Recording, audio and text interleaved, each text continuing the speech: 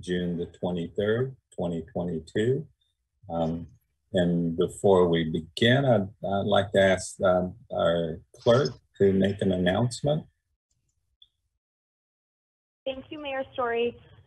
In accordance with California Senate Bill 361, this meeting is not physically open to the public. Council and staff are meeting via Zoom, and there are several ways for the public to watch and participate. Information on how to join the meeting using Zoom or a landline or mobile phone, along with how to submit public comment during the meeting tonight, is available on our website, cityofcapitola.org, and on the published meeting agenda. The public can also live stream the meeting on our website and on YouTube. As always, the meeting is cablecast live on Charter Communications Cable TV Channel 8 and is being recorded to be rebroadcast on the following Wednesday at 8 a.m. and on Saturday following the first rebroadcast at 1 p.m. on Charter Channel 71 and Comcast Channel 25. Our technician this evening is Walter, and he's also joined by, I believe, Eric. So thank you both for being here. Thank you, Mayor Storey. Thank you, Chloe. And I also want to extend my thanks to uh, Walter and Eric uh, for being our technicians this evening. Um, and next, let's go to uh, our roll call. Yes. Councilmember Bertrand. I'm here. Councilmember Brooks. Here. Councilmember Brown. Present. Vice Mayor Keiser. Here. Mayor Storey. Here. Thank you. Next, I'd like to ask uh, Councilmember Brooks if she'd lead us in the Pledge of Allegiance. Sure. I pledge allegiance to the flag of the United States of America and to the republic for which it stands, one nation, under God, indivisible, with liberty and justice for all. Thank you. Do we have any um, additions or deletions to the agenda? Staff has no changes this evening. Okay, let's, um, we'll now move on to item three, which is presentations. And this evening, uh, we have a presentation um, to recognize uh, July uh, 2022 as Parks and Recreation Make Life Better Month. Um, and, um, you know, it's my pleasure to um, make this proclamation, and this is a fitting time since, uh, you know, summer activity is upon us and our junior guards are are busy on the beach. Um, and our parks, and particularly Jade Street Park, is filled with uh, um, players, uh, softball players, and basketball players, and uh, um, as well as Monterey Park. Um, and um, so, um, to make this proclamation, I, I want to recognize that uh, that the Parks and Recreational um, Department, or for the City of Capitola, uh, creates experiences for youth sports and enrichment activities, um, teen centers and programs, um, which um, you know help vitalize um, uh, our community um, and the our City of Capitola Recreation Department is dedicated to promoting physical, emotional, and mental health and wellness for all those uh, programs designed around fitness, creativity, play, and activity. Um, you know, the, our parks are, are an important and integral part of our community uh, by enriching our connections with one another um, and with nature. Uh, the Parks and Recreational Department fosters social cohesiveness in, our community. Um,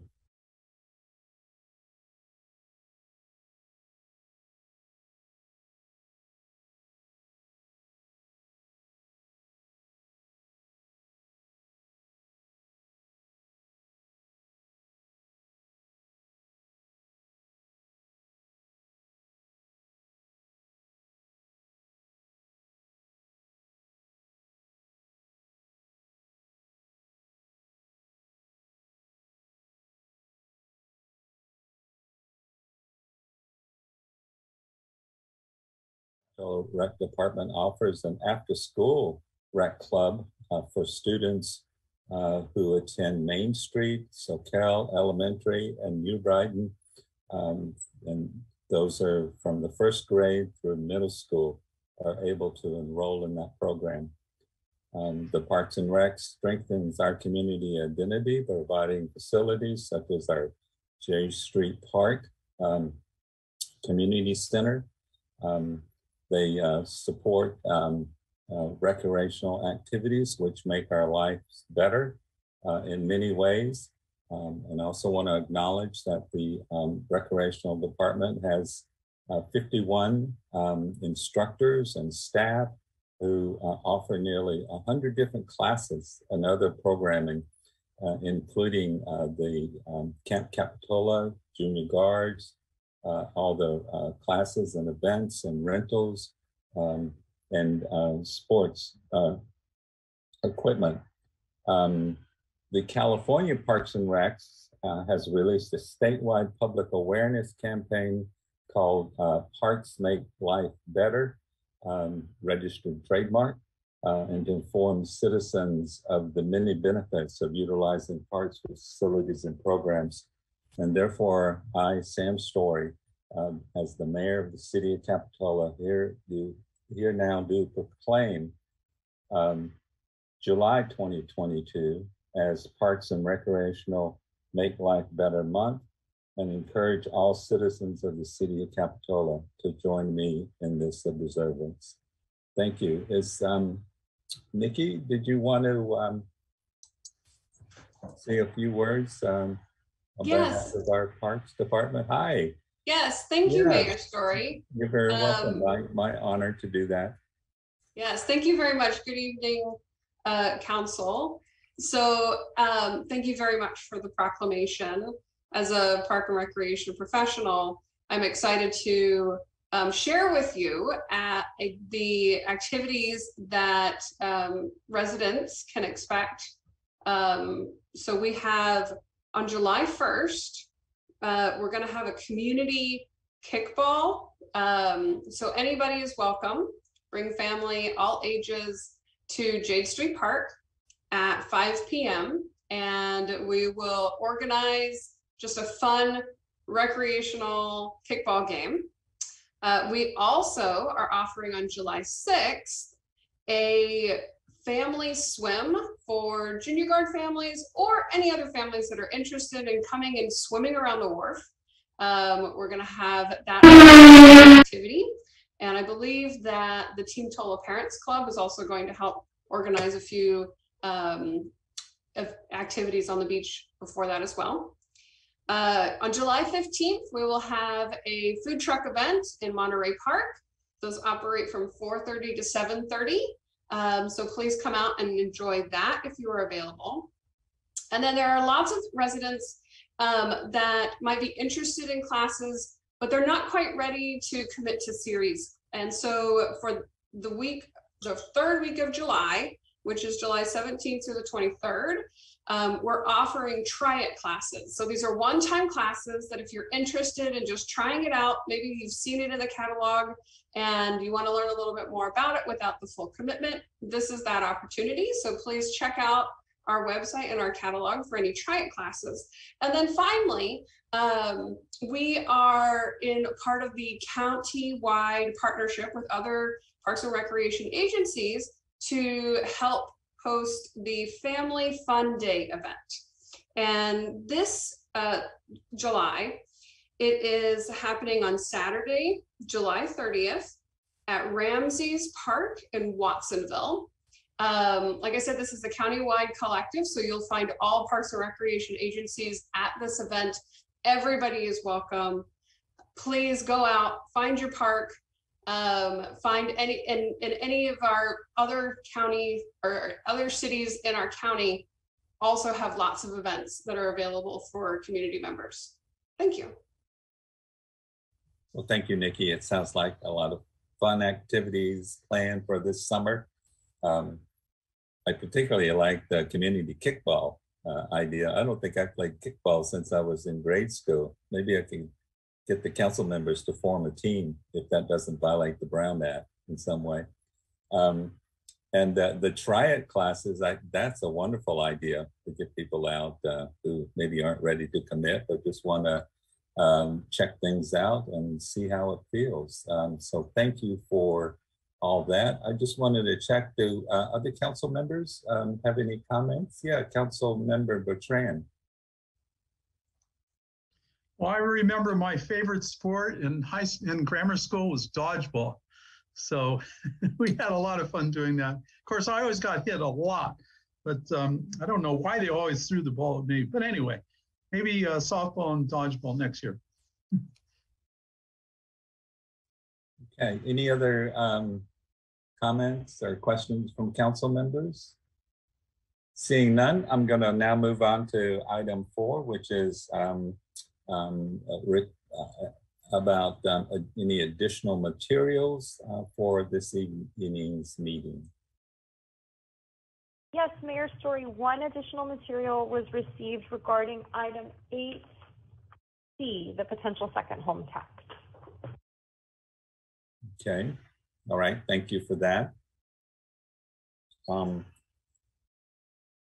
Next is um, oral communications. This is an opportunity for members of the public to address the council on items that are not on tonight's agenda or items that are on tonight's consent agenda.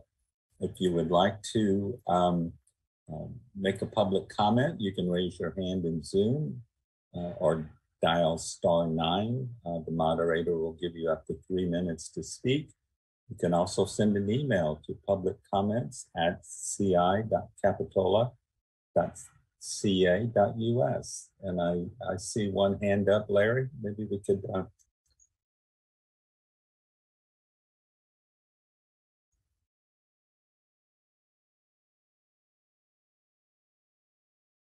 okay. Um, can you can you hear me, Mr. Stott? Uh, yes. Oh. Can you hear me? Uh, yes, we can. Yeah, very well. Go, go ahead. Okay, uh, I live on Diamond Street. And I, I've been taking exception to the parking situation. We've had, uh, I've lost some, um, parking spaces here. So, oh my goodness, the, the screen changed. Well, I'll keep talking anyway. Uh, initially in January, uh, the parking enforcement came through and issued tickets saying they couldn't park the way they did last 25, 30 years or so, which is nose in, which works well in the areas that were designed for it. I thought that this at the time was maybe a like a fraternity prank pulled on the parking cadets, who, by the way, were pretty good. They were polite and firm and so forth. Uh, were told to go out and issue silly tickets. But no, it turned, and then I thought maybe they're trying to raise money. That no, that's not it. Finally, it took a long time after talking to Chief Dally and talking to Jacques that uh, there's a problem over on Ruby Court. Ruby Court had problems with nose in parking. And they really did have a problem because it's narrower. The Ruby Court is 32 feet wide and the uh, the the part that's the street. And then the cul-de-sac area is, is uh, only 71 feet. Also, they have problems with people coming over, employees coming over from businesses on 41st Avenue, uh, encouraged by their employers to park there instead of in the parking lot in the business in order to leave more room for the customers. So Ruby Court is jammed. And anybody who comes into Ruby Court who lives there, parks there, they have to they have to try to negotiate the cul-de-sac at the end. There's just no way around it. And if there's some of these big behemoth vehicles parked up in there with their rear end sticking out, it's hard. I can see why they would do that.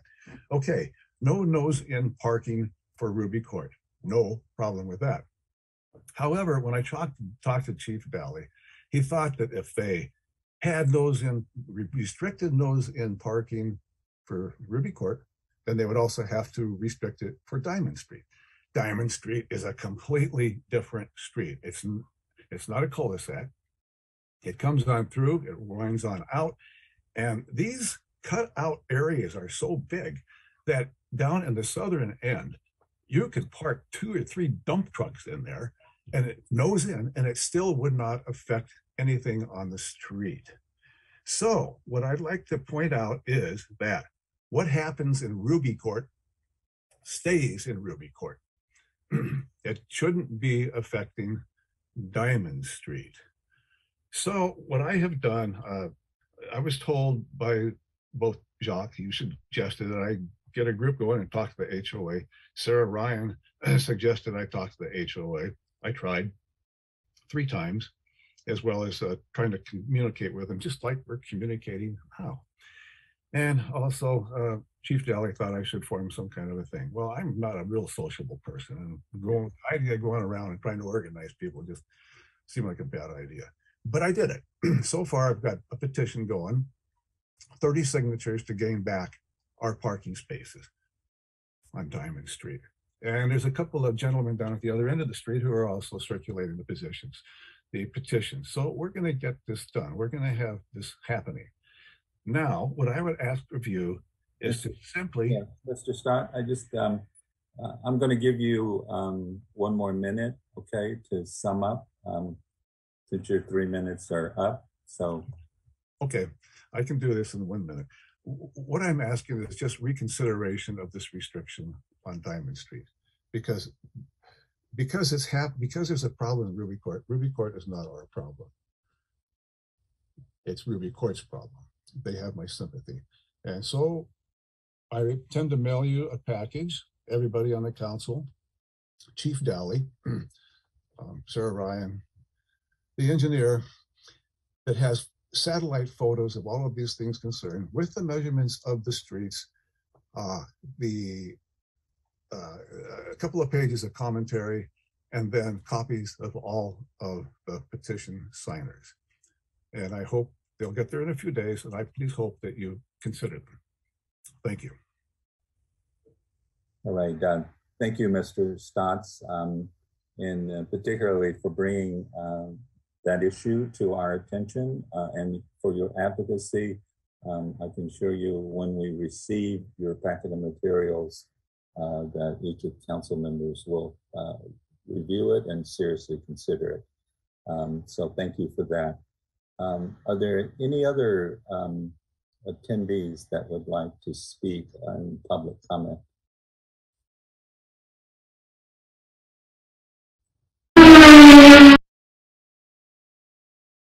Yes, hello. Uh, Thank you for hearing my comment.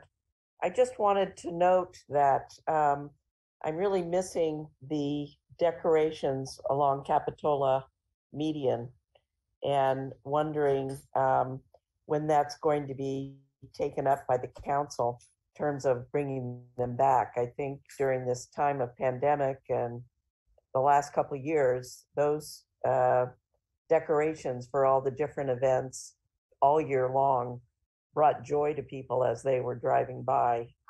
And uh, I think it would be a nice thing for them to come back. Thank you for listening to me. All right, thank you, Ms. Walsh, for uh, making that request, bringing that to our attention. Um, And I can assure you, we will uh, uh, look into that uh, with staff um, and have a response for you. Um, Are there any other comments?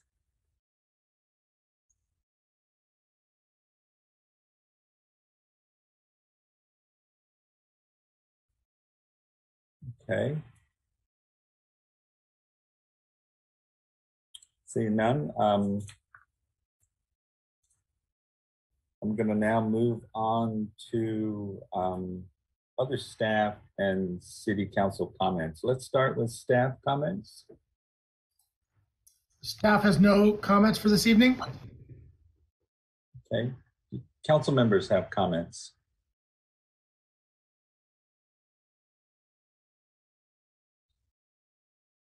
Seeing none, um, I would just like to, um, um, you know, report back on, um, the first Twilight concert, um, which happened on, uh, June the fifteenth.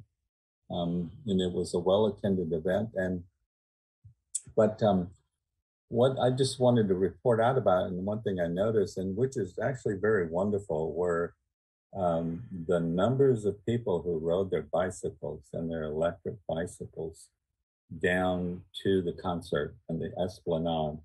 Um, and um, there were bicycles, you know, just parked everywhere. Um, they were um, all around the, the showers um, and as well around the large palm tree. They were parked all around that.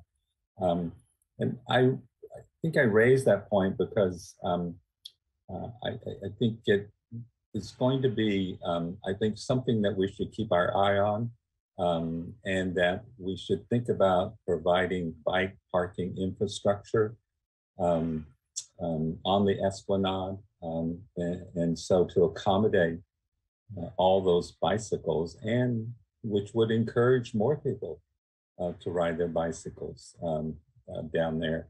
Um, I know that there are plans with the parklets um, for some bike parking, but um, I'm not sure if um, those would be sufficient. But I just wanted to bring that to, you know, I think staff and council's attention, um, just to watch that as that kind of, I anticipate will grow and evolve um, as the bicycles, and particularly electric bicycles, become more popular. So that's that's um, my comment for the evening. Um,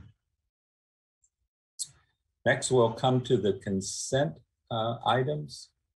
Um, these are items that will be um, handled in one vote unless the council member uh, wishes to pull an item for clarification or um, further discussion. Is there a request to pull a consent agenda item? Yes, Councilmember Bertrand. Um, may I make a comment about one of the items, but not pull it? Um, yeah, if it's, if it's fairly, um, I think, quick, why don't you go ahead and make a comment and we won't, uh, separately uh, agendize it. Thank you very much. So I was reading the BIA report, and I just want to comment on the fact that the uh, BIA is uh, working with the city, probably uh, streets department, and um, you know for beautification, cleanup, and stuff like that. So I, I commend the BIA. For, uh, thank you for that um, cooperation with the city. Thank you. Okay, are there any other, um, uh, requests to pull a consent agenda item? If not, I'll entertain a motion, uh, on the consent calendar. I'll move approval of consent. I'll second. Okay, we have a motion by Councilmember Brown and a second by Councilmember Bertrand. Um, may we have a roll call vote, please? Councilmember Bertrand, I approve. Councilmember Brooks, Aye. Councilmember Brown, Aye. Vice Mayor Keiser, Aye. Mayor Storey. Aye. And this Thank you. consent calendar po- passes unanimously, which will bring us to the general government public hearings for this evening. Um, um, Councilmember Bertrand, did you still have your hand up or?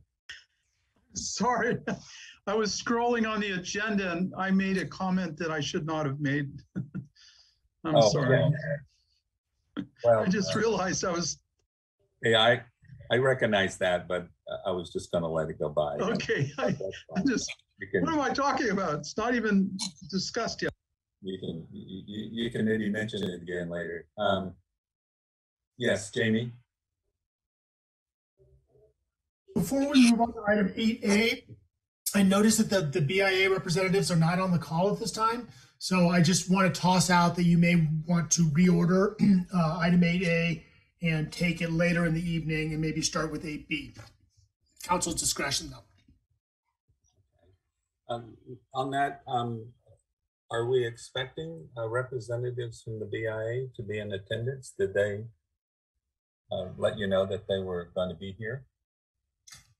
My understanding is we do, but I, I, our finance director is on the call and he can chime in.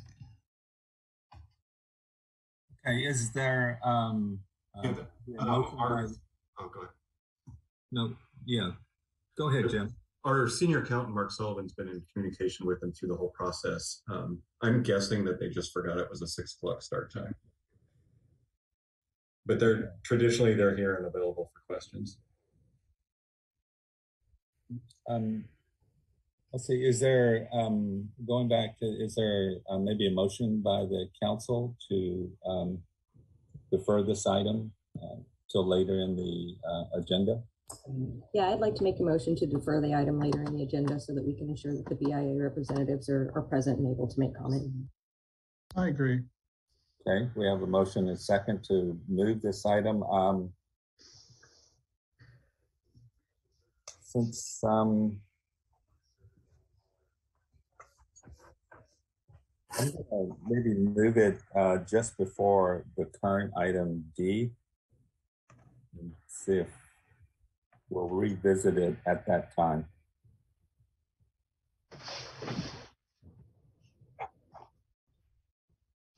Next, we have, uh, then we'll mo- move on to item B, which is the coastal commission recommendations, uh, recommended modifications to Capitola's outdoor dining uh, ordinance. The recommended action is to adopt a resolution accepting the California Coastal Commission's modifications to repeal and replace Capitola Municipal Code Section seventeen point nine six point one seven oh outdoor dining uh, in public right of way and amend municipal code section seventeen point four four point one five oh B three and seventeen point one two oh point oh three oh. We have a staff report, please? Yes, let me jump in. I have to recuse myself uh, due to my uh, employment at Paradise Beach Grill. I'll be back. Okay, uh, good evening, Mayor Storey and Council. Um, tonight I have a presentation on the certification of our outdoor dining ordinance. Um, so prior to any um, zoning code or LCP um, section of code taking effect, the Coastal Commission is required to certify our ordinances. And tonight that is the focus of the presentation. I'm just going to quickly go over the history. Um, back in the spring of 2020, the City Council adopted an emergency temporary outdoor use permits due to the pandemic. In one year later, in April, the City Council directed staff to develop a permanent outdoor dining program. So since that time, we've been working towards our, our permanent outdoor dining program. Um, Planning Commission review and recommendation ha- happened in October and November of 2021. Um, their recommendation was to slow down and maybe do the prototype first and then move forward with the ordinance. Um, in December of 2021, we gave two options to the City Council. City Council directed us to move forward with the ordinance and at the same time move forward with our prototype design, um, which we're, we've been working through. Um, in January of 2020, I submitted our LCP amendment to the Coastal Commission, and we worked closely with their staff for months. And um, in June, a couple weeks back, the Coastal Commission provided a conditional certification. So they put conditions on our ordinance that they would like to see incorporated into the ordinance. Um, just a quick overview of the um, program components. We have uh, maximum number of parking spaces. As Mayor Storey just mentioned, we also have two required bicycle parking spaces, sound requirements, signs, materials, activation requirements, stormwater, utilities, maintenance. We have uh, specific locations for sidewalk dining and street dining. And then we also have an administrative policy, which really outlines the city's oversight of these spaces as it is city property being leased um, to the businesses.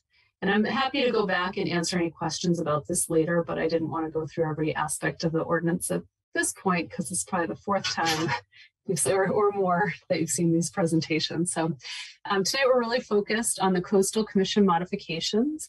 Their staff asked for two modifications. The first, which aligns with um, what the City Council had asked for originally. The City Council, we wanted to do the first leases for three years. um, and then check in and review how the program's going, make sure we don't need to amend it. When it got, we, we didn't put anything specific in our ordinance about that. It was in our policy document. When it got to the Coastal Commission, they asked that we put this um, in our ordinance and then require that review to happen on a five-year basis thereafter. So we'll be coming to the city council after three years of the program being in place and we'll be doing a review of the entire program. So every restaurant that's been issued, that gets issued one of these permits, um, we'll, we'll give you an update on who's been in compliance, if there's any issues. The Coastal Commission is very interested to make sure that there's no impacts to our coastal resources. Um, and access. So we'll be reviewing that as well. And then once we give the city council the update, they'll have the option to either recertify, um, amend or revoke the CDP, or they can um, revoke the entire program at that point if, if, if it's been problematic. Um, and then, uh, so that that really aligns with, I think, where the city council had directed us originally. And second, they asked, we, we went through a back and forth. Um, at first, they, you'll recall that we had a 50% dedication of the lease revenue that would go towards coastal access. When we first submitted our LCP update, they asked us to switch that to 100%. So all of the fees that are collected for parking, they wanted to have go towards coastal access. Um, in your staff report as an attachment, I provided a summary of all the, you know, our, our city goes above and beyond when it comes to coastal access and recreation.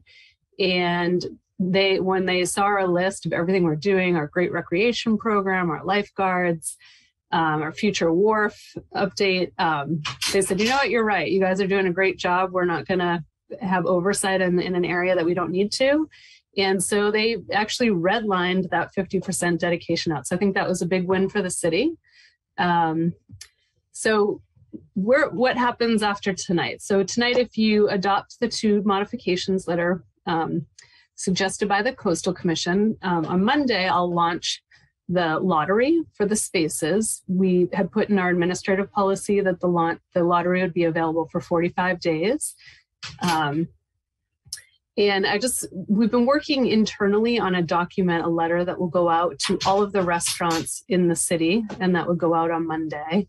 Um, and it, it provides an overview of the lottery system. It has a, an attachment of frequently asked questions. There's a lot of details in this next step that we want to make sure the restaurants are really clear um, about timing and all the details of what it means to lease, what types of permits are required. So we're really, we're going to get out ahead of it. I'll get that out to all of you as well so you have a copy.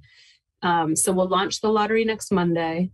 Um, the Coastal Commission concurrence meeting. So after this meeting, if we agree with, if the City Council says to move forward with their changes, um, the concurrence, there's one more meeting at Coastal Commission where they make it final. It becomes our certified LCP. That'll happen on July 15th. Um, following that, there's a meeting for the Planning Commission on July 21st when they'll review the prototype street dining deck designs and hoping we get an approval that night so that the businesses can make a decision on whether or not they want to use the prototype designs. Um, we did have a meeting with the businesses recently and got feedback and our um, the designer is incorporating some of the the feedback from the businesses that we got.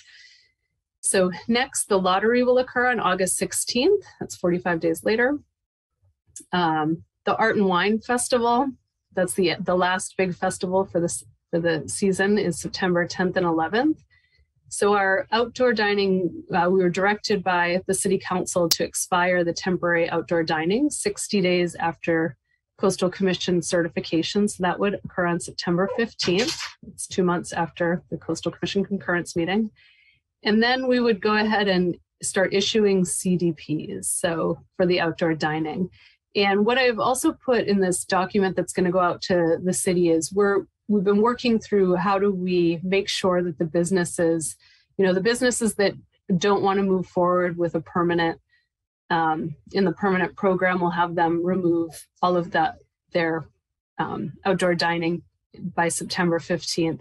Anyone that's like paid their deposit, they've got their space in the lottery, and they also have plans into the city at that point uh, on September 15th, we're going to work with those restaurants to allow them to keep their temporary in place as long as they're working towards their permanent until such time that they um, get their um, their building permit and then they can take out the temporary and start to do their construction. So um, so we're that's all in the guidance document. So our recommended action tonight is to adopt a resolution accepting the California Coastal Commission modifications to repeal and replace Capitola Muni Code section 17.96170 outdoor dining in the public right of way and amend Muni Code section 17.44150B3 and 17.120.030. And that concludes my presentation. I'm happy to answer any questions. Councilmember Brown. Thank you. I noticed uh, in the ordinance uh, on page fifty-one, there was discussion about the dining deck materials being high quality and durable, and I think that's uh, great guidance. I had some residents reach out with some concerns about some of the guidelines that they thought were going to be in place regarding the furniture, that perhaps it would only be one kind of umbrella or one kind of chair um, that the outdoor dining decks would be able to have. And there was concern that uh, one, it would be cost prohibitive, prohibitive for some of the um, business owners, but then also that it kind of prevents the opportunity for there to be character for, for each of the um, restaurants taking part of this. And so I didn't see anything about it in the ordinance, and I know this comes back to planning commission. So I'm just wondering if that's something that the planning commission is going to continue to provide guidance on, um, or if that's something that hasn't really been finalized yet. So um, the with, within the prototype design, it has not been finalized. So that is one of the suggestions within the prototype design that certain a certain type of like outdoor chair, uh, not necessarily one specific design, but there's many options. But utilizing a high quality furniture. But they um, so the planning commission will be looking at that in July for the prototype design and considering it.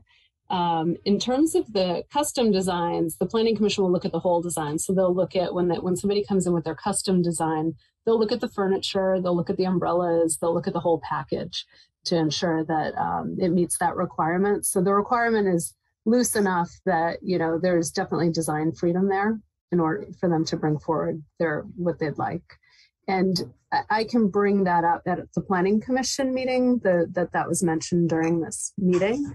And, um, and I agree with you that options, more options are better. So in terms of Okay. helping the So if, businesses. if I'm understanding correctly, then it sounds like someone could use the prototype design and the prototype design would include specific furniture that you would need to use if you just want this adminis- administrative um, permit that's just done. You're going to use this design, it's approved. If they wanted to use the prototype deck, but a different kind of furniture than is included in the prototype design, then it would be considered kind of a custom. Um, and then they, that just needs to be approved separately. It doesn't mean you can't have that, that kind of furnish, furnishings. It just means you have to have that approved separately. Am I understanding that correctly? That's correct. Yep. Okay, cool. Thank you. Councilmember Bertrand. Uh, yeah, thank you very much, Mayor. Um, yeah, I'll just chime in on the, the furniture comment. So I had a comment or two on, um, well, we've already purchased the furniture. They didn't want to repurchase furniture. So uh, with the clarification of Commissioner Brown, uh, excuse me, Councilperson Brown, then that should be attended at that time. Um, so, Ms. Herlihy, um, you mentioned that you've met with the um, the merchants and a couple of comments I've had is about the costs. Has that been nailed down? And what was their general response? You said they gave suggestions, which means they're probably thinking about it and they're not against it. So I'm just trying to get an idea what they think generally, if you want to characterize that. Yeah, um, we got quite a few re- comments actually about the furniture and the umbrellas. And um, the other comment that um, there, I have a list of comments, and I'm sorry they're not, they weren't in my presentation this evening. But um, one comment in particular was just trying to maximize the space. Um, there were some new design ideas of rather than have planters all along the edge with railings, why not put places where people can sit and look out and have almost like a, a higher bar area that to to just get more spaces within the in these parking spaces. So um, I will bring forward the whole list of comments from that design meeting to the Planning Commission when they're reviewing the prototype design. But that that will be decided at that meeting, and um, but there one one of the biggest uh, the the the comment we heard the most was about the furniture um, and the estimated cost, I believe, for two spaces to build it out with estimated cost is about twenty-five thousand dollars. It's expensive, but it's uh, a long-term investment. So I, I have those numbers and I'd be happy to share those with the council and send them out. Any- Any other questions from council members? Seeing none, um, Katie, I, I had a question about the bicycle parking. Um, Bicycles are Mhm. on my mind. Um, are those, um, spaces per parklet, tho- are those going to be reserved and limited for customers of the establishment? Are they open to the public to be able? The, you know, there's um, no, I think they're open to the public. It's really supposed to offset the public parking space. Uh-huh. So it's, it will not be just, and from my understanding, we didn't put anything in the ordinance that says it's just for those businesses. It's really to help um, mitigate the impact of removing public parking from our streets. Yeah, just, I mean, in reading the section on the bicycle, it was, it it was to me kind of unclear one way or the other within the ordinance. Um, it does say that the street dining deck that eliminates an on-street parking space must include a bicycle parking rack integrated into the street dining deck design. Um, or it says within the private property of the eating or drinking establishment it kind of sounds makes it sounds it could be proprietary um, instead of just open to the public. Would it be better to, if if our expectation is that it is going to be available to the public, just maybe mention that in the ordinance? You know, at, at this point, we can't really make any modifications to the ordinance, but if we need to, um, we could put something within our um, policy and bring it back to the council. Okay, yeah. Um, yeah, I think that that would be good to just clarify that, um, because I anticipate, um, those kinds of issues may come up, um, down there. I think starting out may be good to just be clear with everyone. So, um, let's see, Jamie, you had your hand up? Yes. I was just going to note that each one of these parklets is going to get a revocable encroachment permit. And the revocable encroachment permit is going to include a lot of sort of standard language about they're doing this in the public right of way. This is what they can do. This is what they can't do. Yeah. So I think we can easily capture that there, that bike parking on your site is public and you can't restrict people's use to it. Um, so hopefully that can clear that up. And because I do agree, if it's not clear, it can lead to confusion, which can lead to conflict. Yeah, thank you. Thank you for that. That, that, that sounds li- like a good, um, um, solution.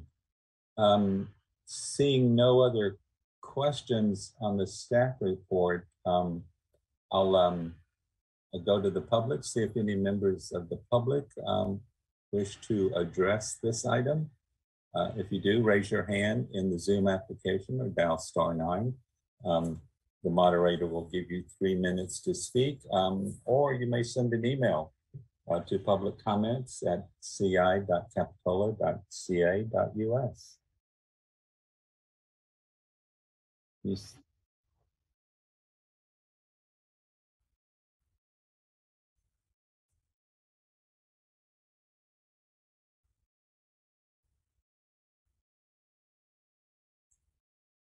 Okay, well, let's move on. Let, let me know if anything should come in, Larry. So um, um, with that, I'll bring it back to the council for further deliberation and action. Um, and um, I see Councilmember Brown. Yeah, I'd like to make a motion to adopt the resolution accepting the California Coastal Commission modifications to repeal and replace Capitola Municipal Code section as listed on the screen. Uh, in the public right of way and amend the municipal codes also as listed uh, here on the screen. Second, Is there, there's, there's a motion by Councilmember Brown, seconded by Councilmember Bertrand. Uh, before I call for a roll call vote, um, I just want to, um, I think extend my congratulations to staff to, with, for negotiating this, uh, with the coastal commission, um, and, and really, um, uh, doing that successfully. Uh, I think the outcome, uh, is, is very reasonable, uh, on the part of the coastal commission. Um, and so, um, thank you for that good work and, um, bringing the coastal commission around to our thinking. Um, with that, oh, uh, Councilmember Brooks. Yeah, I just wanted to add a quick comment. Um, great jobs to, to staff, but in addition, Katie, I was just in Los Gatos and they are laying the foundation for many of these parklets or spots. And um, I, I just think it would be a good time if any of the council members wanted to make a quick trip, not on the weekend in traffic, but to kind of see these things go up and um, what they look like because it's pretty phenomenal. So um, kudos to staff. Thank you for all the hard, hard work. Well, Thank you. Um, so with that, I'm gonna call for a roll call vote on the motion. Councilmember Bertrand, I approve. Councilmember Brooks, Aye. Councilmember Brown, Aye. Vice Mayor Keiser. She is recused. Oh, I'm so sorry. Thank you. And Mayor Storey. Aye. Um, the motion passes unanimously by those council members that are able to vote on it. Um, so thank you, everyone. Um, I think we all look forward to moving ahead uh, with our permanent parklet program. Um, now let's go on to the item uh, eight C, uh, which is the potential second home tax follow-up. Um, the recommended action is to provide direction to staff to either one, continue preparing the materials necessary to place a second home tax on the November twenty twenty-two ballot, or two, do not proceed with placing a second home tax on the November twenty twenty-two ballot. Can we uh, have a staff report, please? Sure. Give me a second to share my screen.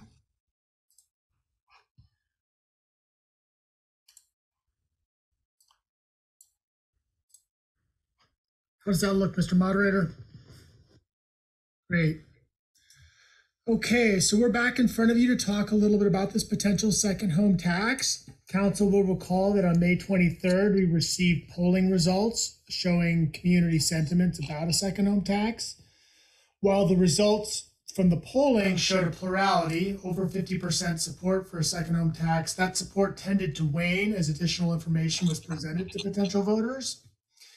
In addition, we've learned that a second home tax that was placed on the ballot by the city council would require two thirds to pass. So as we discussed last time, two thirds uh, support is a very challenging bar to meet for any measure. And given the polling results, it would require a very strong campaign to have um, have any chance of passage. So at our meeting then on June 9th, we held a follow-up where we got some direction from the council. And in addition, we provided some additional info, input about some different types of questions the council members had. And the con- conclusion of the meeting, council did three things. Provided direction to proceed with drafting an ordinance and incorporated some specific details of what would go into the ordinance. Um, council uh, also included in the motion that members, as allowed by the Brown Act, would uh, assess community support, um, potentially looking into an outreach plan and analyzing uh, also whether or not there may be a community campaign for such a tax measure. And then also council asked for this to come back this evening here two weeks later. Uh, as a summary for the direction received at the meeting, um, the threshold for the tax uh, was to be people who occupied their homes less than 90 days a year would be subject to it. The tax amount was set a bit lower uh, at the $4,000 um, level. And then we went through a bit of an enforcement protocol and exemptions, which the council identified that would be included in the draft ordinance the city attorney is working on. Uh, the uses we haven't yet determined. So we will touch on that in a second here. So if we were to decide to move forward, uh, staff would need direction on the proposed uses. As I mentioned two weeks ago, uh, my suggestion would be that we look for uses that are either identified in the polling or there's a lot of community interest in, things that would really engender sort of support for the item, and maybe split that between some general fund uses. Uh, the options, should we decide to move forward, would be we could get direction on uses this evening. Council could call a special meeting uh, in mid-June to discuss further. Council could consider forming a subcommittee to recommend uses for a second home tax. Or lastly, you could provide that direction at the July 23rd, 28th meeting. If we decide not to move forward this evening, then we would just need the direction to discontinue working on this potential tax measure at this time.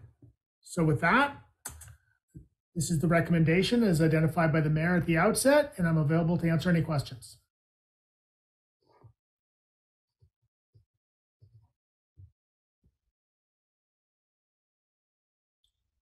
Seeing no questions from council members, um, I will um, take this matter out to the public and um, see if any attendees would like to uh, speak on this agenda item. If so, raise your hand in the Zoom application or you can dial star nine. The moderator will give you three minutes to speak. Uh, you may also send an email to public comments at ci.capitola.ca.us.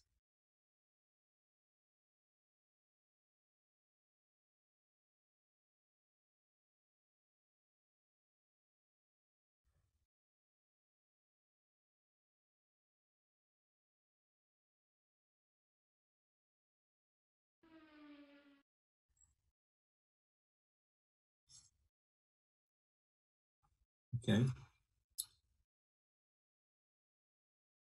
Yeah, let me know if anything should come in, um, Larry. Um, so it looks like, um, Councilmember Bertrand, you had your hand up. I'll bring it back to council for further deliberation and action.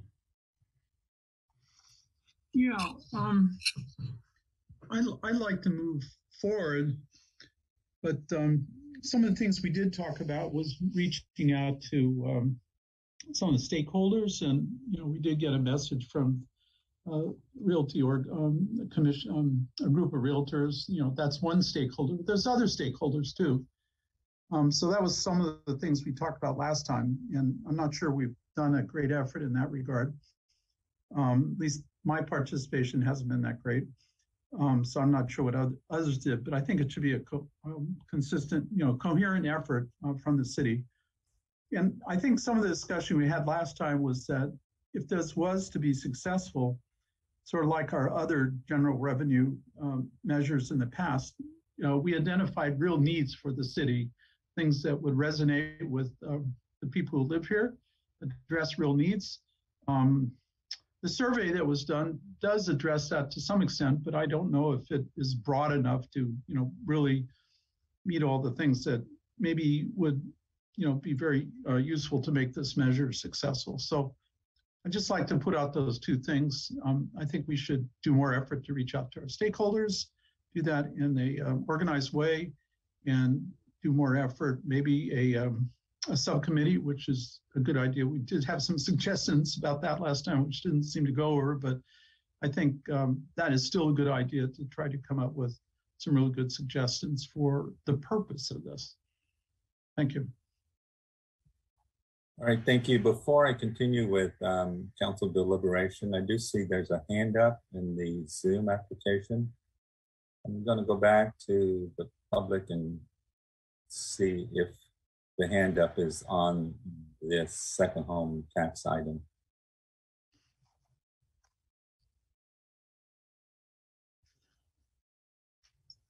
Yes.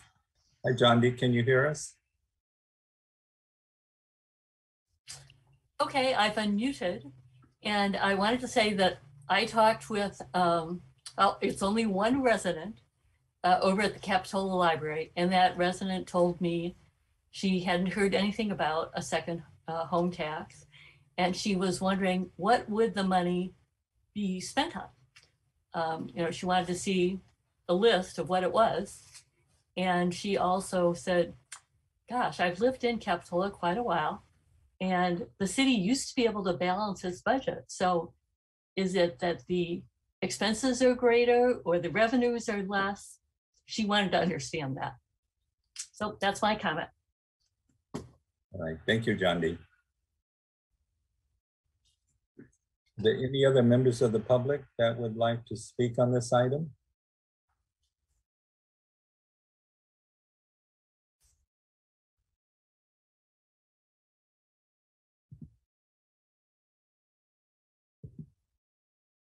Okay, I'm going to now come back to the council then um, and recognize Vice Mayor Keiser. Thank you. Um, so I, mm, after our last meeting, did meet with a few of our community members, um, also members of our finance financial committee, um, and sort of spitballed some ideas along with staff members too. And I think um, while I want to support the ballot measure, I think that how under the gun we are, it's going to be something that would take a little bit more initiative from either community members, um, possibly some more campaigning, um, definitely some um, more outreach to the public. I'd like the public, you know, kind of as Joni was saying, that you know she's hearing from people that people aren't aware of what what it's for what it's going to contribute to. So i think that trying to squeeze it into the november ballot might be a little bit um, unattainable for us right now but i think that moving forward um, it's something that we should still address and have staff and in our community moving forward uh, towards getting it on the next presidential um, election ballot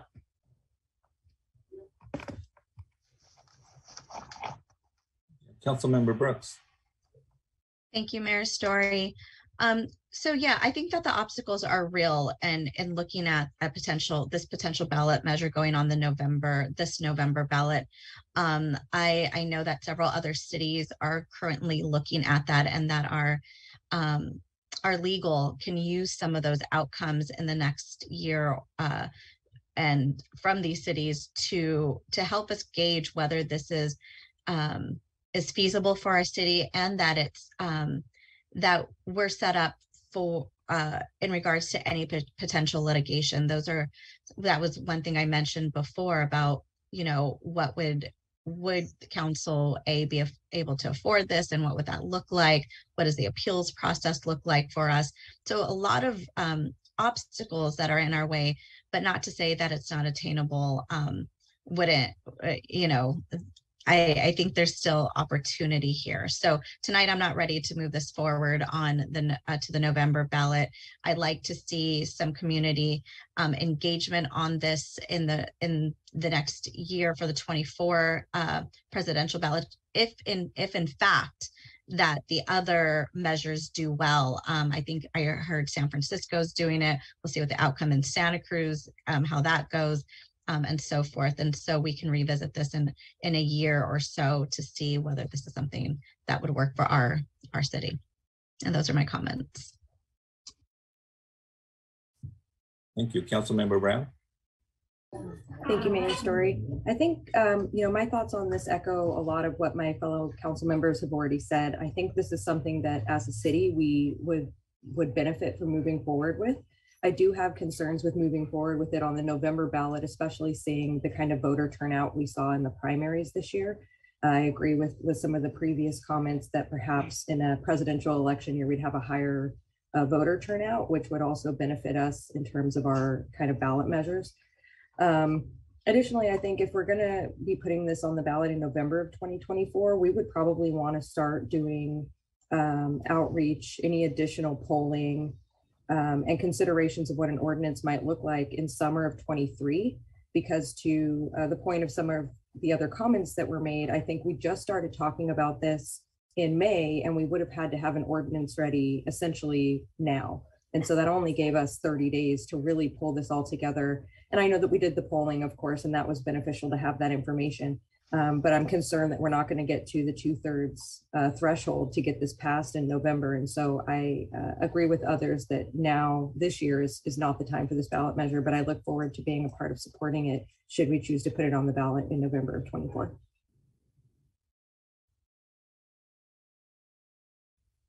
Councilmember Bertrand? Yeah, I think, I think everyone's mentioned a, a lot of things that would not bode well for a successful campaign. Uh, so my question of staff is, uh, can we um, move forward with a suggested, uh, develop, excuse me, a suggested ordinance, uh, not for November, but something that we could use when we're talking about this to the community. And, you know, I think Yvette mentioned that there's other uh, cities and communities that are considering this. And Sam, our, our, our um, attorney, could take those things into account so that um, we do avoid litigation or possible efforts to slow it down. So that's my suggestion. And, you know, so not for this November, but for later. And we basically develop something that we could actually have that would address what we're trying to um, accomplish, at least in terms of the legal. I'm happy, Councilmember Bertrand. I'm sorry if there's an echo here. I do know of a couple cities like uh, Councilmember Brooks mentioned are looking to put a measure on the ballot. I know Santa Cruz, some residents put a measure on the ballot. I've been in close contact with Jamie about this we'll keep talking. And certainly my office is watching these measures that are going on the ballot. Um, and so assessing in the next few months, and I can work with Jamie about um, pushing that information out to the council. Yes, Sam, I think your guidance would be very helpful in this. Um, thank you very much. Um, another thing, if I may, Mayor. Um, so Sam, your law office will be dealing with the legal issues, but if there's anything that comes about that we would like to know in terms of our discussion about, you know, some of the um, the resonance with the community, some of the issues that were more, our issues are going to be different, but I'm, I'm just sort of trying to get an idea what their experience is also. Because it is a tax and it does have to meet a real need. Thank you. All right, thank you. It, it um, seems the sentiment of the council is to uh, select a second option, which is do not proceed uh, with placing a second home tax on the November 2022 ballot. Is there someone that wants to make a motion to that effect? I'd like to, to make a motion to not proceed with this ballot measure on this November ballot. There's a motion. Is there a second to that motion? No second. Okay, there's a motion by Councilmember Brooks and seconded by Councilmember Bertrand not to place the second home tax uh, on the November 2022 ballot. Um, is there any final words by council members before I call for a roll call vote? Seeing none, can we have a roll call vote, please? Councilmember Bertrand, I agree. Councilmember Brooks, Aye. Councilmember Brown, Aye. Vice Mayor Keiser, Aye. Mayor Storey. Aye. The motion passes unanimously. Um, yeah, I wanted to check in and see if their representatives of the BIA are um, in attendance. Devin's here. Yes, Mayor, uh, Devin Salter, who put the budget together for the BIA is attending the meeting. Great, great. Okay, so we're gonna now go back to item A. Um, and, um, I, I just want to, um, uh, announce that, um, I have a conflict since, um, I am, uh, subject, uh, to the assessment by the BIA. Um, therefore, I'm on both sides of this, arrangement. So I am going to recuse and step away from this meeting and turn it over to Vice Mayor Keiser. Thank you, Mayor. Okay, so we are moving back up to item A, which is consider a resolution for the levy of Capitola Village and Wharf Business Improvement Area assessments for fiscal year twenty twenty-two to twenty twenty-three. The recommended action here is to conduct the notice public hearing and adopt the proposed resolution levying the fiscal year 2022-23 Capitola Village and Wharf Business Improvement Area assessments and accepting the CVWBIA annual plan and budget. And Jim, is this your presentation? Yes, ma'am. Thank you. Okay, thank you. Let me share my screen and I'll go through a couple of slides here. Does that look okay, moderator? Thank you. Uh, so just by way of background, um, the BIA was formed or uh, formed by the um, in 2005, June of 2005, when the City Council adopted Ordinance 889. And it's a business-based self-imposed assessment district with assessments paid by businesses within the district for improvements and activities that support, revitalize, and attract tourists to those businesses. The assessment amounts are determined by business classification and number of full-time equivalent employees. So as was the case last fiscal year, um, due to the pandemic, the um, proposed assessments for this year have been reduced 25%, which was the same as what they were last year, for everyone except the hotels and, and lodging establishments, and those remain reduced 50% as they were last year. Um, businesses um, can make in lieu payments in the form of gift gift certificates for use by the BA in normal years, but uh, we didn't have any. There were no in lieu payments last year, and again with the reduced assessments, there's no in lieu um, payments this year. So as far as the assessment process, uh, we set the, uh, on June 9th, we um, presented a staff report and made the annual report available to the public and set a hearing for tonight. The hearing was noticed in the Santa Cruz Sentinel and mailed to all the affected business owners. And the California state law, as well as our Muni code, require the city council to conduct a public hearing annually prior to approving the assessments. Um, and those assessments are submitted at- with an annual plan and budget for council consideration, which is included in the agenda packet. And just as a reminder, there is no fiscal impact to the city. All services provided by the city are reimbursed by the BIA, um, both the Public Works Department as well as for work done by the Finance Department. Um, the- as a reminder, the BIA budget does include restricted transient tax, transient occupancy tax or TOT revenue, uh, which was uh, in result of Measure J, which was approved by voters in 2018. And Measure J dedicated a portion of TOT um, revenues for local business groups. And in February of 2019, the city council directed that the TOT revenues restricted for local business groups be split evenly between the BIA and the Chamber of Commerce. And um, the kind of, we didn't do a reso or an ordinance, but the um, request or kind of verbal requirement was that 25% of their TOT revenues be allocated towards village improvements and or enhance enhancements. Um, that the TOT portion of the budget is the revenue as well as what those expenditures are going to be, be broken out separately from the regular budget and that they provide an annual report on how the restricted TOT revenues have been used. So for uh, fiscal year 22, 23, the BIA budget has uh, 32,000. I think I've actually bumped that up a little. I'll have to coordinate with them on that. Um, and of that, out of the 32,000, they have programmed 3,000 for directory printing, 4,000 for miscellaneous advertising, 5,000 for website management, 14,000 for village enhancements, and 6,000 for holidays and events.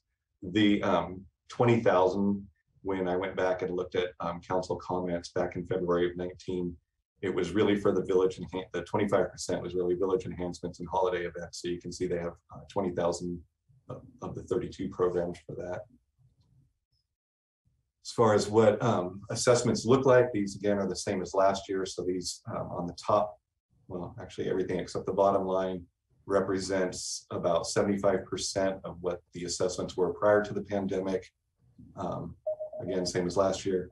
Hotels, motels, and inns on the bottom, that's um, half of what they were paying pre-pandemic.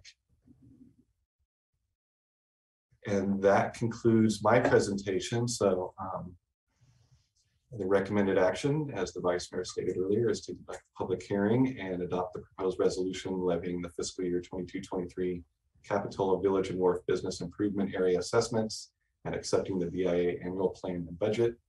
And with that, I'm happy to answer any questions. And as, um, again, Devin Salter, who prepared the budget for the BIA, is also in the meeting. Awesome. Thank you, Jim. Do we have any questions from council members? Okay, I don't see any. And uh, Devin, if you um, have a anything you want to add, now is a good time for that, I think. Uh, yes, uh, first, can you guys hear me? Yes, thank you. Okay. First of all, um, I apologize for not being on earlier. I, I just assumed that the council meeting started at seven and not earlier, so That's okay. I apologize for that. All Um, good. Karen's usually on these and, uh, she asked me at the last minute if I would, uh, go ahead and, and be, and be present. Um, no, I don't, I don't really have anything to add, just, um, thank you. I just want to thank the city of Capitola for working with us and, and all the help that Jim has given me over the, the past couple of years as treasurer to just understand more the reports and, and how the, the income and expense thing works within the city. If you have any questions of me in reference to the budget, I'd be more than happy to answer those at this time. Great. Uh, Councilmember Bertrand? Yeah, I'm ready for my comments now. Okay. So um, Devin, thank you very much, Vice Mayor. Um, so Devin, I had jumped in earlier because my scrolling was off. Um, so I read about, uh, the many things that you've done. Um, I'd like to say that my daughter, when she was of that age, she loved the Easter egg hunt.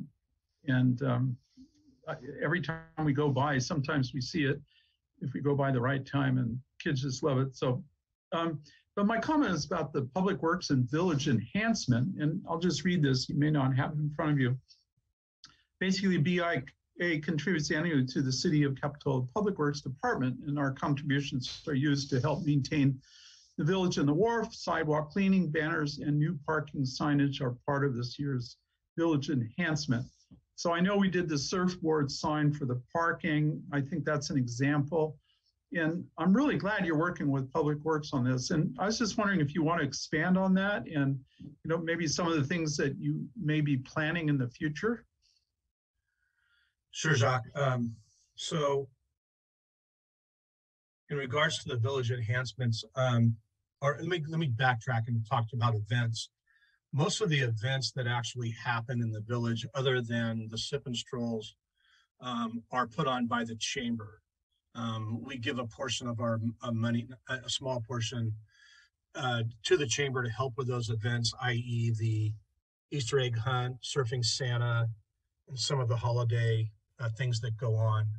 Thank you. Um, So, and then as far as village enhancement, I know that we've agreed and we've talked with the city um, about adding some sidewalk cleaning, because I mean, honestly, once a month or once every other month just isn't enough to make it look, you know, nice or presentable to um, people that visit our area. So we will be adding, you know, sidewalk cleaning in July and August and, and September on top of what the city is paying for as well. Um, the banners are up. Um, you know, we've, we've really spent some money on our website, which we think is going to help the visitor experience a lot. Um, added, you know, uh, parking directories and that type of thing to the website. Um, also in the process of working with the city and hopefully uh, putting QR codes uh, on signs in certain areas so that people visiting the area can access that and and you know help them where to go, whether it be to a public restroom or what have you. Um, so I, I you know I don't know if that answers your question, but um, Well, That's that about it. expanded, you know, item 10, 9, and um, I, I didn't, yeah, I was wondering about the Easter egg hunt. Um, The chamber does do that, but it's nice to know that you help contribute to that, so. uh, thanks for, you know, clearing that up. Absolutely. Great. Do we have any other um, council comments? I see Councilwoman Brooks. Thank you, Vice Mayor. Um, is it, I'm, I'm sorry, is this questions or comments? We have moved on to comments. Okay, awesome, thanks. So I would just like to share a few comments then. Um, I think that the BIA has been doing a tremendous job. Um, I really love the new surfboard sign. Um, I really love all of the work that they've been doing and the commitment to the village and, and the neighboring streets.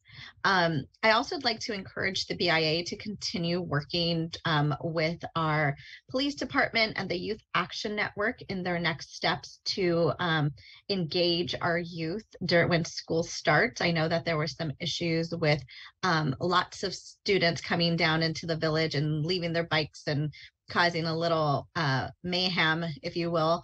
Um, and so I know that they that many of the businesses have have been involved in troubleshooting and being creative and ideas, and I just want them to kind of encourage to to do so because we have a big gap uh, with summer here and um, it more than likely will pick up when school starts in August. And so again, thank you for for everything that you're doing and um, yeah, great work. Thank you. Thank you. And Councilwoman Brown. Thank you. I also just want to take a quick moment to commend uh, Devin and, and all the other members of the BIA uh, for the work that they've been doing. Uh, in the time that I've been the council's representative to the BIA, I've seen how hard they've worked uh, on, on things such as their website and getting people into the village, their social media um, um, uh, activity has, has gone up quite a bit. Um, so, and their sip and stroll and their cookie walk, the Easter egg hunt, you know, during the pandemic, they were really able to pivot and continue that Easter egg hunt in a way uh, that allowed for the continuation of those kind of family friendly events uh, in the holidays in the village. So again, just good work to all of you. It's, um, I really enjoy uh, attending your meetings and being the council's representative to the BIA. Um, so again, I really appreciate it. And um, with that, if it's an appropriate time, uh, I would like to uh, make a motion to accept the uh, CVW BIA annual plan and budget. I'll second that. Great. So we have a motion by Councilwoman Brown and a second by Councilperson Bertrand. I do just want to say that um, I think having the BIA and having uh, uh, them as part of our community and being able to work amongst um, our our small town with whether it's PD, other businesses, whatnot, I think it's really important, and I'm glad that uh, we can continue on and let's take that to a roll call, please. Councilmember Bertrand, I agree. Councilmember Brooks, Aye. Councilmember Brown, Aye. Vice Mayor Keiser, Aye. Mayor Storey is recused. Thank you. Yes. So for those that can vote, it is unanimous. So item eight A, we will, do I have to say it? Forget. Okay. Good. All right, that passes unanimously and Mayor Storey is back. I'm All back. right. Thank you. All right, let's move on to the next item, which is D. Um, and this is, um, coming back to revisit our 2022-23 budget. And it's the it's, um, um, to consider the, um, next year's budget and the capital improvement program for the city of Capitola. The recommended action is to approve the pr- proposed resolution adopting the fiscal year 2022-23 city budget and capital improvement program. Can we have a staff report, please? Yes, Mayor Storey, thank you. Uh, Give me one moment to share my screen again.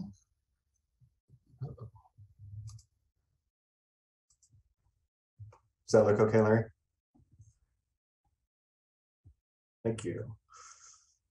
So um, just to kind of go over the process that we went through, our proposed budget was distributed uh, April 29th. The uh, Finance Advisory Committee held meetings on May 3rd as well as May 17th. We also did, um, one, well, it was outside of the budget, but we did one for the second home tax um, earlier this month. And then City Council held meetings on May 4th and May 19th. Those were special meetings for just budget hearings. And then at the last May 19th meeting, council provided direction to return this evening for potential budget adoption. Um, so just to kind of go over the recap of the general fund, our- operating budget is imbalanced by design. Um, and that um, goes back to the council goals that I'll cover just below here. Um, however, we are maintaining a target balance of right around 1.4 million. And in addition, we have uh, $385,000 set aside in a resiliency account. Um, the reason our budget is out of balance is we are utilizing 3.7 million of um, available general fund resources for capital improvement projects and city council goals. Those I'll, I'll go over. It's been a while since we talked about these, but 1.5 million for the wharf rehabilitation project, 150,000 for the community center maintenance, um, the universal design park, uh, 275,000, which was an increase from our last meeting. A funding study for city hall options, 50,000. Uh, beginning to set funding aside for the Stockton Bridge reinforcement of 350K, Bluff and Cliff Drive study, 50,000. Noble Gulch engineering feasibility analysis, 50,000. Fire risk reduction, 50,000. Um, I believe those bottom four are part of our LHMP. Um, continuing on, uh, City Hall maintenance, hundred thousand. We've programmed twenty thousand to, um, add two more EV charging stations. We have hundred thousand programmed for bike and pedestrian safety projects, fifty thousand for, um, some additional Peery Park Bridge maintenance. We're going to do a deposit of an additional five hundred thousand in our CalPERS Retirement Trust. And then we have some miscellaneous projects that are really staff driven, but we have fifty thousand kind of set aside. There's about six or seven of those. And then again, the um, three hundred eighty-five thousand dollars in the resiliency account. As far as capital uh, improvement program, uh, just kind of putting up the new ones for fiscal year 22-23. Um, Actually, just talked about those on the previous slide, but um, city park design and Stockton Bridge, you can see our general fund uh, dollars. The Capitola Wharf is general fund and Measure F dollars. And that number is wrong. I apologize for that. That should be four hundred thousand of general fund and one point one million of Measure F. Apologize for that. Um, the City Hall Maintenance Community Center are coming out of the facility fund. And then pavement management, uh, five hundred eighty-seven thousand dollars between our RTC Measure D money and state SB one funding. Um, that went the wrong way. So uh, at our May nineteenth um, special hearing, special meeting, uh, city council direction was to increase funding for the universal uh, design park by an additional hundred and twenty-five thousand, which brings us to the total of two seventy-five. To allocate hundred and twelve thousand of restricted TOT revenue or funds for early childhood and youth programs, and that's sixty-one thousand of our FY 22-23 projected revenue into early childhood and youth program community grants. And then utilizing fifty-one thousand of existing ECYP funding in the recreation division. And uh, Mickey has a plan for that listed up there, the youth program scholarships of thirty-nine thousand, the swim lesson equity program for ten thousand, and the job skills program for two thousand. Um, some additional budget revisions since the, our last hearing. We received, um, our final Q three for the fiscal year, which was first quarter of this calendar year, January through March sales tax revenues. And they're exceeding our, continue to exceed our estimates. We keep adjusting up and it keeps surpassing them. Um, so we have increased our beginning fund, our, our sales tax revenue for the current fiscal year by hundred thousand, which gives us basically a- an additional hundred thousand to start next year with. We also, due to that, um, moved up our projection for next fiscal year by sixty-five five. Um, taking our, and that's just the Bradley Burns one percent, that takes us up to an even six point four million. I think the most we've ever done before is about just under five nine, so that's a pretty big jump there um, since pre-pandemic. Um, on the expenditures, we've uh, made 161, almost 162,000 in um, amendments, and that was increasing the universal design project by 125. I got the um, actual invoice amount from um, the Housing Action, uh, Homeless Action Partnership, so that um, we moved an additional fifteen hundred and twenty-five dollars out of general fund dollars and moved it to our uh, Housing Special Revenue Fund. So total funding now for the shelter costs is thirty-one thousand five twenty-five. And then we have another about nine thousand that goes towards out of the general fund. Um, I also got, received the final amounts for our JPA insurance premiums. So I've decreased workers' comp by eight thousand, but increased liability by forty-six five. Um, all of this combined uh, increased our projected ending fund balance next year by a little over thirty-five hundred dollars. So a lot of movement to not really change much in the overall big picture. Um, just as a reminder, during our mid-year, we'll be evaluating our actual sales tax revenues over the next two- quarters and see if this performance uh, continues and if we need to make any additional amendments. We'll also be looking at performance of other key revenue sources, but uh, TOT and cannabis tax being two of the top. TOT is doing really well, so we'll see if that one goes. And cannabis tax seems to be coming in where we originally projected. It's kind of gotten up to where we thought it would be a couple years ago, so making sure that one's kind of holding there. Um, there is the potential to consider lease terms for the community center, hopefully by mid-year.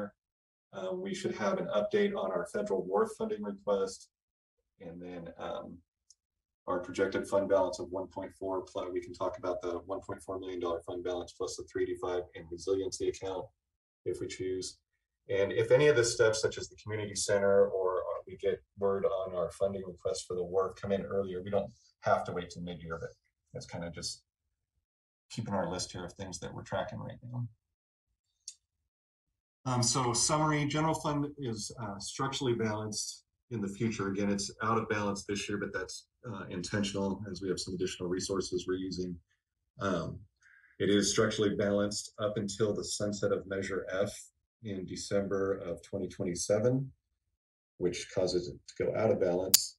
And our reserves remain at target levels. We're a little under this year. I think I talked about this at the last hearing um, that we're going to take kind of a two-year approach to getting them up to back up to the target.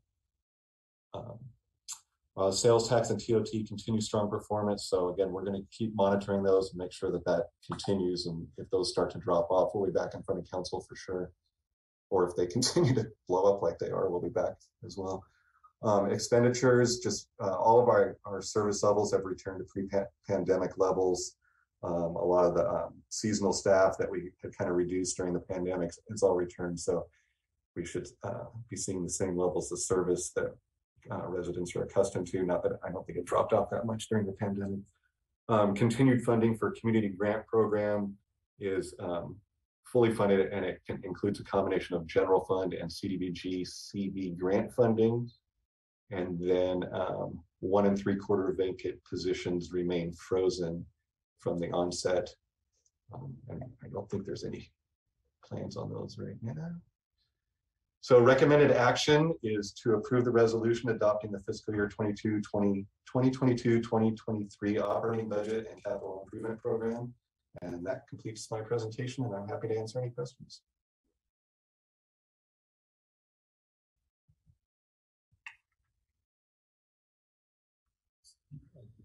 I'm not seeing any hands up from council members, so I'm gonna go out to the public and see if any members of the public would like to um, speak to the council about our 2022-23 budget.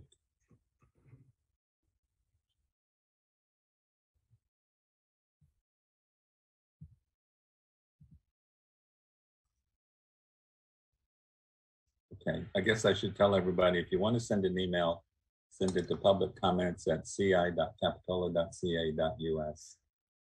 Um, yeah, Larry, if something comes in before um, uh, we conclude this item, just uh, let me know. Uh, But with that, I'll bring it back to council um, and and determine the will of the council. Hopefully, we'll have a budget next year.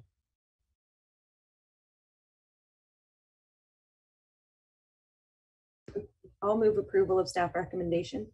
Thank you, Councilmember Brown. Is there a second? And second, I believe by Vice Mayor Keiser, did I? Okay, okay. Um, With that, let's just go to roll call vote. I know we've, we've been working on this um, many sessions over the past few months, and so it is uh, now come to the uh, uh, final action. Um, So can we have a roll call vote, please? Councilmember Bertrand, I agree. Councilmember Brooks, Aye. Councilmember Brown, Aye. Vice Mayor Keiser, Aye. Mayor Storey. Aye. Well, Thank you. Yay, we have a budget for next year. Um, And Yes, thank handed you. in with the budget, usually there comes a consideration of the fee schedule. Um, So which is the next uh, item on our uh, agenda. Um, The recommended action is to conduct the notice public hearing on the proposed city fee schedule for fiscal year 2022-23 and adopt the proposed resolution amending the current fee schedule. Can we have a staff report, please? Yes, thank you, Mayor Storey. Let me Share my screen one last time.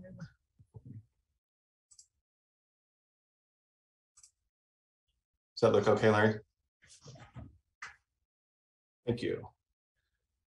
So um, just by back, by way of background, um, the annual review of the fee schedule, as the mayor mentioned, is um, part of the budget process. Uh, Back in November of 2015, the city council adopted the current fee schedule, and at that time, the consultant recommended an annual review and a consumer price or CPI increase. Most fees have been increased each year by the San Francisco Bay Area annual CPI. And that um, CPI rate for this year, which is, we use the calendar year, so January through December of 2021 is 3.21%.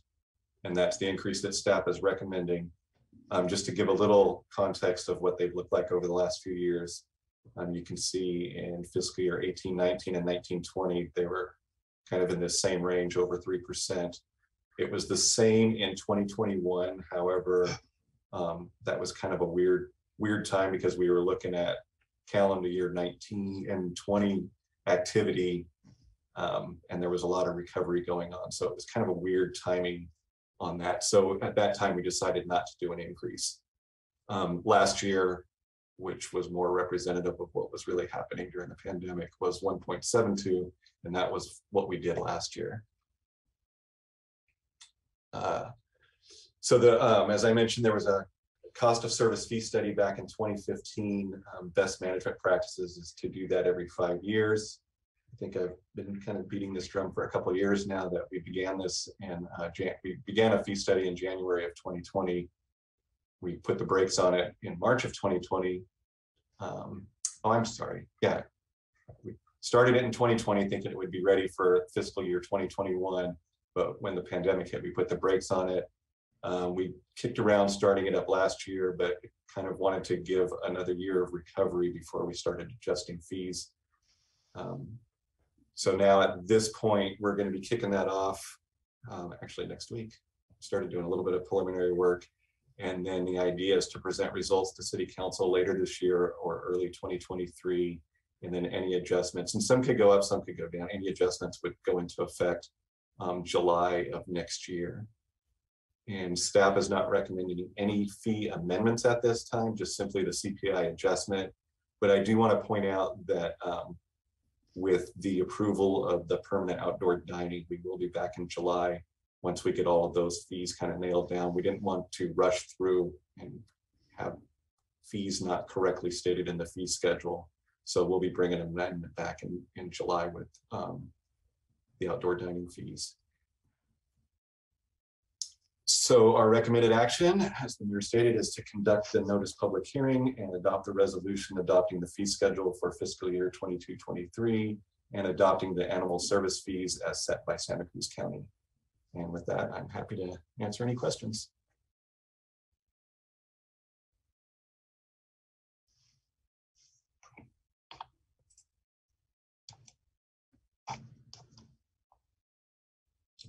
Yes, Councilmember Brooks. Yeah, Jim, um, just one clarifying question. We're increasing it. It's the base of what by one point? Whatever the pre, that first screen was, what's the actual, what, what are we getting from to N two? That's All of the- a little, con- All of the fees that are within the schedule would have a CPI increase of um, three point two one percent. okay, and last year was the one point seven. Got it, Correct. I kind got of, it. I strung that all together, sorry. I see. Okay, and then this increase by three point two one percent goes into effect of July twenty twenty-three. No, July of this year. Okay, and what did you say goes into effect of July 23? The plan After is, the report? yeah, the plan is to do the fee study kind of into this fall and early next Okay. spring and be queued up for next July. Okay. I'm tracking. I gotcha. Thanks. Sure. Okay, other questions from council members? I'm gonna uh, go out to the public. I see that there are no attendees um, in the Zoom application. I'll just check, Larry, are there any emails from members of the public um, on this item?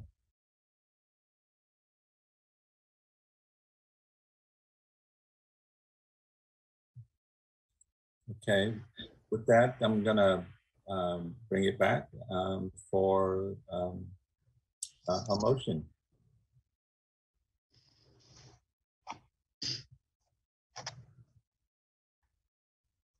Councilmember Brooks, Yeah, I'd like to make a motion to approve the proposed resolution adopting the, um, oops, wrong one.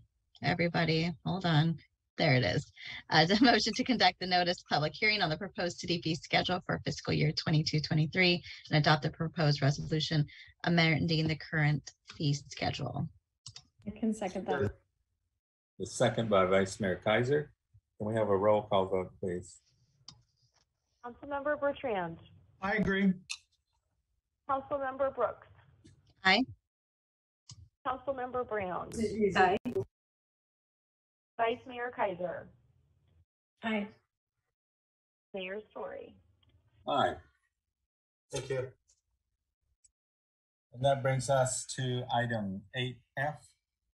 And that item um, is to approve the proposed resolution authorizing the fiscal year 2022-23 annual salary adjustment consistent with existing employee labor agreements. And as part of the introduction to that item, it is my job to, uh, as mayor, to make the final following announcement. So before the city council this evening, as part of agenda item eight F, is a recommendation to approve the updated salary schedule for 2022-23 for employees, including at-will management employees. At-will management employees consists of department heads and city manager. Effective July tenth, twenty twenty-two, the cost of living increase for the at-will employees will be two point seven five percent.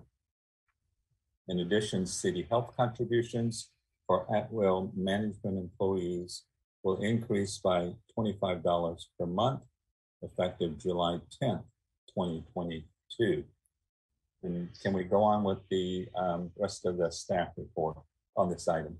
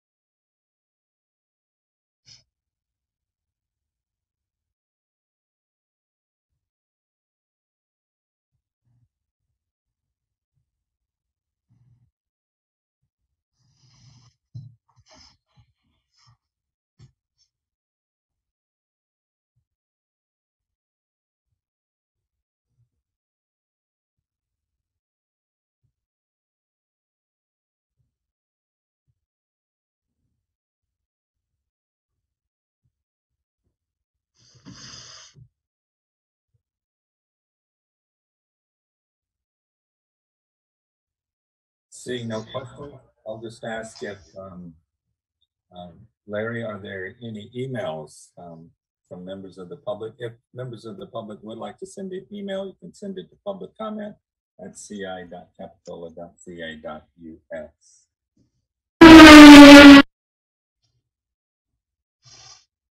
Okay, I'll bring it back for, uh, council action. Is there a motion? Yes, I can make a motion to take, um, approve the resolution authorizing the fiscal year 22-23 annual salary adjustment consistent with existing employee labor agreements. A second.